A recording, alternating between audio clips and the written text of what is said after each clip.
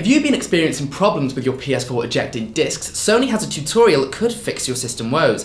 The video addresses the common problems of a console ejecting discs on its own, or the system beeping repeatedly even when no disc is present, and offers a quick solution for owners. The first step is to hold down the power button until the system beeps twice. Then wait about 30 seconds until all system lights are off, unplug the power cable and leave it be for 3 minutes.